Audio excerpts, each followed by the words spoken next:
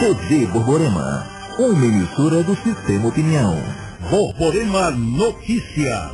Oferecimento Hospital Antônio Targino, referência em cirurgia cardíaca, central de AVC e infarto. Tragédia em Santa Rita. Colisão de ônibus e trem deixa três pessoas mortas e dezenas de feridos. Não tem nem, nem palavras para se dizer quando a vida humana é afetada de uma maneira tão grave desse, desse, desse jeito. Eu estou realmente abalada.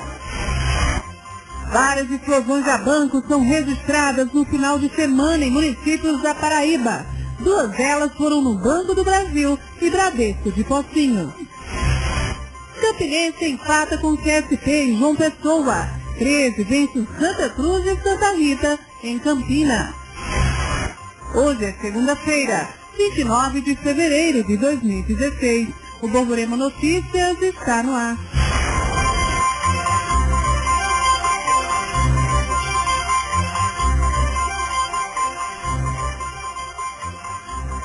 Olá, boa noite. Agora são 7 horas e 17 minutos. A gente abre o jornal de hoje com um fato lamentável. Uma tragédia que aconteceu na tarde de hoje em Santa Rita, na Grande João Pessoa. O acidente entre um trem e um ônibus deixou vários feridos e três mortos.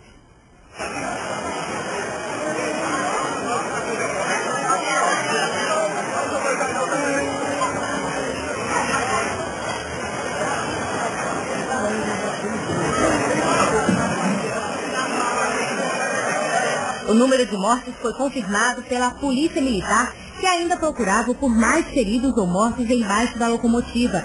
Os feridos começaram a chegar ao hospital de trauma às 5h15 da tarde. Oito pessoas deram entrada na unidade, sendo cinco em situação gravíssima e com risco de morte. As outras três pessoas foram diagnosticadas com fraturas em diversos membros do corpo. Mais vítimas feridas foram atendidas pelo Corpo de Bombeiros e levadas para outras unidades de saúde da região metropolitana. A perícia, o Instituto Polícia vai ficar no local convocado pelo delegado para fazer esse levantamento e verificar a responsabilidade de qual condutor, eh, de forma imprudente, eh, provocou o acidente.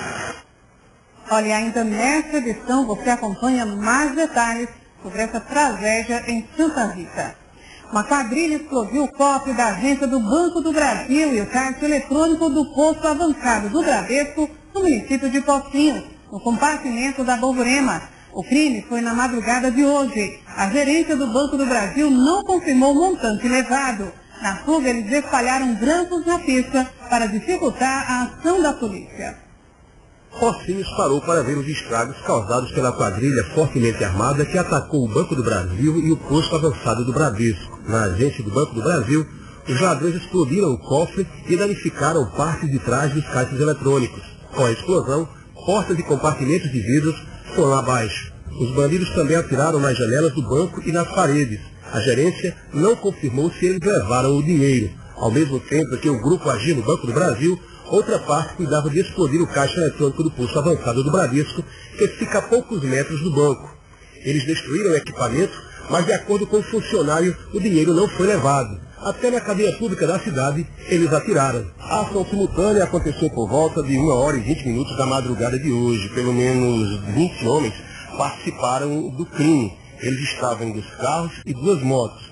Após causar esse pânico todo na cidade de Pocinhos, eles fugiram para o município de Oliveiros. Mas quem chegava à cidade, vindo de Montadas, Areal ou Esperança, por exemplo, teve prejuízos. Os ladrões espalharam grampos na rodovia. O carro passou e furou os quatro pneus. Um estragou muito. Outro não sofreu acidente. Foi. O carro tombou ainda para cair no abismo. Para outras pessoas, o prejuízo é bem maior. A cidade fica sem as duas instituições bancárias temporariamente. Quem precisar de alguns serviços, como retirar dinheiro, vai ter que se dirigir até Campina Grande. Amanhã, que é o primeiro do mês, todo mundo, todos os pobrezinhos que é apresentado, principalmente eu e outros qualquer, aí vem receber que dê dinheiro. Outras explosões a caixas eletrônicos foram registradas no final de semana e na madrugada de hoje, em Santa Rita, Cabaceiras, Esperança e em Brejo do Cruz. Até agora, ninguém foi preso. O Detran prorrogou o prazo de emplacamento dos veículos ciclomotores de 50 cilindradas, as chamadas cinquentinhas. O diretor do Detran conversou com a nossa equipe sobre o assunto. Nós tivemos a primeira fase, que foi da obrigatoriedade do emplacamento para o ano passado, até 31 de dezembro, e agora estamos na segunda fase, desde 1 de janeiro até hoje, e sendo prorrogado agora até o dia 31 de março. Uh, o DETRAN compreendeu da necessidade dessa prorrogação, e aí, é, nessa prorrogação, nesse período, fica isento o proprietário de cinquentinha que foi emplacar do emplacamento atrasado de 2015. A obrigação era de 2015, então o Detran já poderia cobrar, além de 2016, que é o emplacamento atual, também 2015 a multa correspondente. Mas aí o Detran está isentando e prorrogando até o dia 31 de março para que os proprietários de cinquentinha se adequem e regularizem seus veículos. Veja a seguir, estudantes realizam um protesto em Campina Grande, reivindicam a garantia de passe livre e a revogação do aumento da tarifa de ônibus. E ainda, greve de fome dos alunos da UFPB já dura seis dias. Aluno passou mal na madrugada de ontem. Você fica com imagens da Avenida Canal.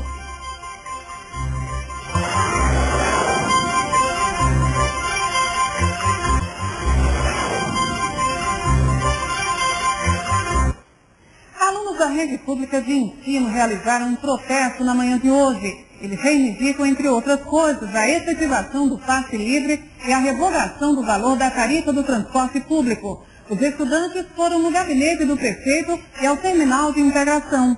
Eles são acusados de atos de vandalismo. Acompanhe.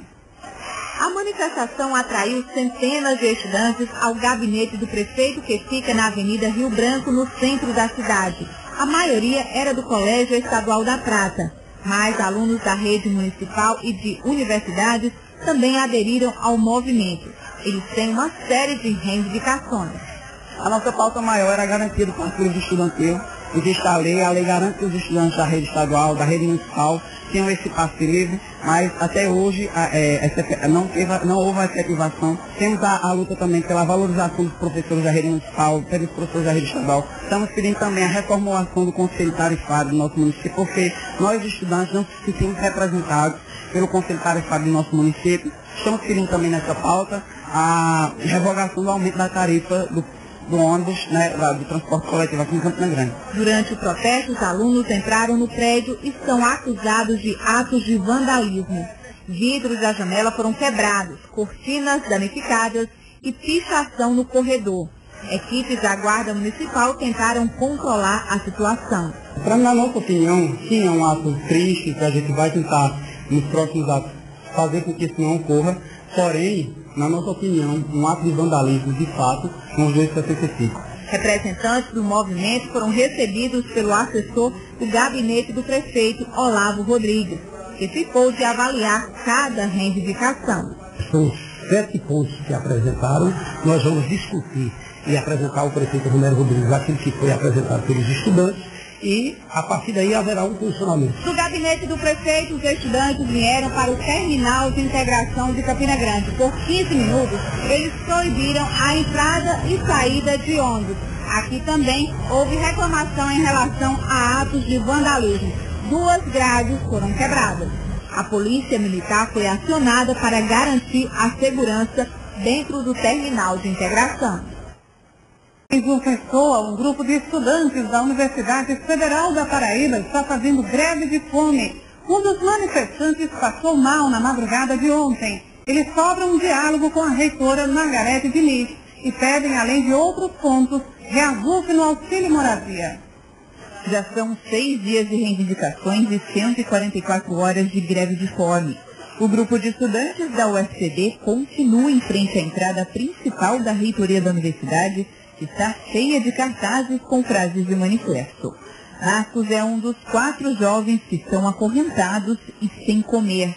A falta de alimentação fez o estudante passar mal na madrugada do último domingo. 15 de maio foi um susto só, porque tem o pessoal de enfermagem, profissionais formados aqui que estão dando apoio, a gente está tendo muito apoio. Entre as 23 reclamações, o auxílio moradia é um dos principais problemas enfrentados pelos jovens. De acordo com esse estudante, o número de 150 pessoas contempladas pelo benefício na última lista de aprovação é muito inferior à demanda. O auxílio de 570 reais por mês também é destacado como insuficiente para os gastos básicos. O auxílio moradia ele é de 300 reais para o auxílio moradia e são 270 para a refeição no final de semana, porque o final de semana o nosso restaurante universitário não funciona. Porém, a gente não gasta só com casa e comida.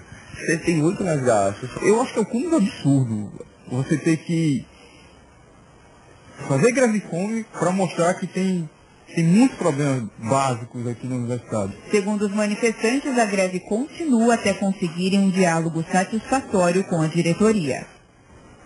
Você já ouviu falar na palavra cosplay?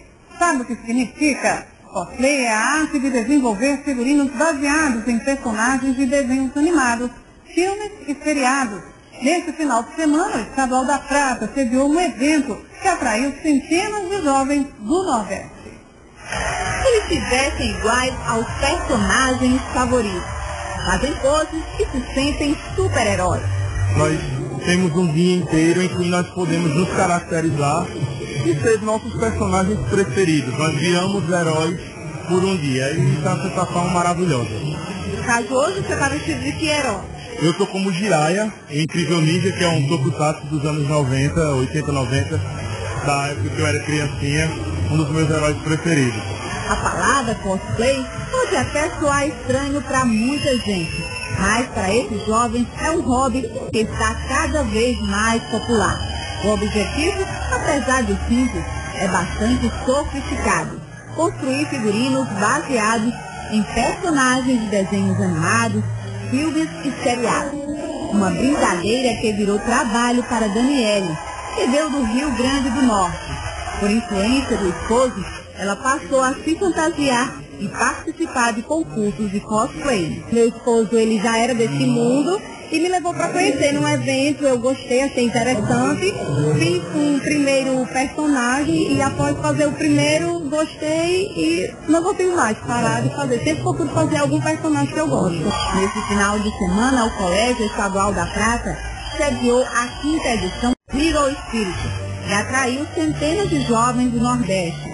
Um evento que busca divulgar a cultura pop e oriental. A gente traz campeonatos de cosplay, concursos de jogos, campeonatos de dança e atrações relacionadas com a internet e com esse universo. Dubladores, youtubers, é, pessoas famosas do meio que o pessoal gosta, a gente acaba trazendo para a cidade de Campina Grande para que eles possam e consigam ter esse contato direto com esse pessoal. E para quem vê de fora acha o cosplay uma diversão estranha, os adolescentes e jovens levam tudo muito a sério são fãs das imitações. Essa cultura mais japonesa, mais do nerd, está crescendo muito, está sendo mais bem aceita. Eu acho que o evento em todo, não tem como escolher uma determinada coisa. Ele todo se complementa.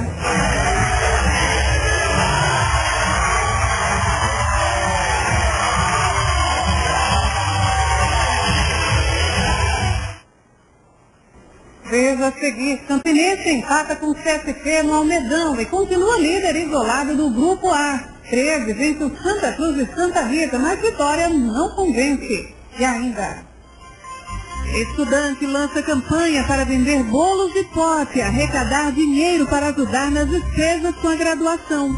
Você fica com imagens da Praça João Rick, no centro de Campinas.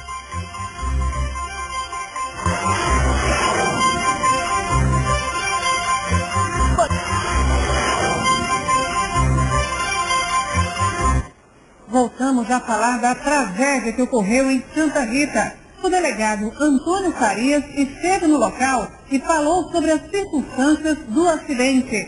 E os profissionais que trabalharam no socorro das vítimas também relataram a situação em que encontraram as vítimas. Acompanhe. Logo de início sabemos que o trem é o que tem menor culpabilidade. E segundo, a ocorrência aqui com duas senhoras, que é com, com, com o trem, inclusive o carro do automóvel dela, ela disse que esse ônibus estava parado até há dois ou três minutos. E o trem de longe começou a buzinar, buzinar, e o ônibus não deu sinal de, sinal de vida. As pessoas saíram lá, os policiais gritaram, batiam, e o ônibus não saiu do carro. Até, até o trem chegar e atropelar o ônibus e causou essa verdadeira tragédia, como todos convêm. Infelizmente, é, não tem nem, nem palavras para se dizer quando a vida humana é ceifada de uma maneira tão grave, desse, desse, desse jeito. Eu estou realmente abalada, mas é, as vítimas que estavam graves, que nós pudemos atender, todas foram entubadas aqui no local, saindo aqui com vida, e esperamos primeiramente em Deus que elas cheguem com vida. Uma tristeza. Futebol. O Campinense empatou ontem com o CSP em partida disputada no estádio Almedão, na capital. O time rubro-negro colocou em campo uma escalação com a maioria dos jogadores que não vinha atuando no time titular. Mesmo com o empate, a Raposa é líder isolado do grupo A do Paraibano com 14 pontos. Veja como foi. Com um time formado por boa parte dos reservas, a Raposa dominou o jogo. Mas marcar que é bom, o bloqueio do CSP dificultou a passagem de bola e só duas oportunidades surgiram. A primeira foi com Gil Bala pela esquerda e a outra foi a pancada de Jucimar. Já o segundo tempo não foi muito diferente. Nem o Campinense nem o CSP conseguiam encaixar a jogada. A Raposa perdeu a chance com a bomba de Pitbull. Outra oportunidade foi o chute de fora da área de Felipe. A partida terminou empatada em 0 a 0. É a primeira vez que o Campinense não faz gol no Paraibano de 2016. O 13 conseguiu vencer o Santa Cruz de Santa Rita, mesmo não apresentando um bom futebol. Ontem no Amigão. Confira os principais lances. O 13 começou a partida com fome de gol. Em poucos minutos, Thiago Furlan já estava na cara do gol e por pouco não abriu o placar. Foram várias jogadas que poderiam ter balançado as redes. Na volta para o segundo tempo, vários chutes, mas todos para fora. O Santa Cruz aparece e por pouco o Valber não faz um gol de cabeça. Foi aos 41 do segundo tempo que Thiago Furlan, numa cobrança de falta, balança as redes. Alívio para o Galo, que precisava de uma vitória. Thiago Furlan ainda insiste nessa jogada, mas o goleiro Vladimir tira a bola em cima da linha. A partida termina assim. Um para o 13, zero para o Santa Cruz de Santa Rita. Uma estudante decidiu investir de forma criativa para ganhar dinheiro e ajudar a família a pagar as despesas do curso de graduação em gastronomia. Acompanhe a reportagem de Sabrina Lima. A culinária sempre fez parte da vida de Priscila. A família sempre teve mão cheia para a arte de cozinhar. Toa que a mãe abandonou duas profissões para trabalhar só com um hobby. Em meio a esse mundo da culinária, a Priscila cresceu com o sonho de se tornar uma chefe. Agora o desejo dela é fazer uma graduação técnica em gastronomia. A questão é que o curso só existe na rede privada. O curso dura dois anos e Priscila ganhou uma bolsa de 30%. Mas mesmo assim a mensalidade passa dos 500 reais. Para ajudar a arcar com o pagamento, a confeiteira de 22 anos teve uma ideia empreendedora, vender bolos de pote. Quando eu falei pro meu pai que queria fazer, ele disse, olha, essa mensalidade a gente não vai ter condições de pagar completa. E eu fui, falei com meu avô, ele se disponibilizou em me ajudar, mas ainda assim eu não me conformei. Eu tinha que encontrar uma forma para ajudar também no orçamento familiar. E eu decidi fazer os bolos. A família tem me apoiado. Afinal, a mãe sabe bem que é trabalhar com o que se ama fazer. Quando ela disse que ia fazer alguma coisa para ajudar financeiramente, eu disse, pronto, você faz. Dependendo de quanto você arrecadar, a gente vai e vai completando. Quanto isso aí você não se preocupa. Aí vai ter, é um, como diz, um jogo de bola, né? Você tem que ir administrando pelas laterais até chegar no meio de campo e fazer o gol. E eu acredito que ela vai chegar e vai realizar o sonho dela, com certeza. A divulgação dos bolos de potes acontece através das redes sociais.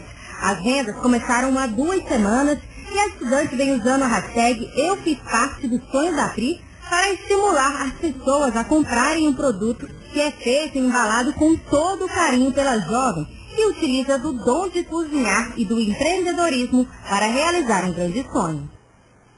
Excelente iniciativa.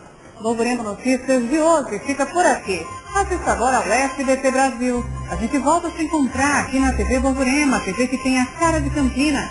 Boa noite para você, até amanhã.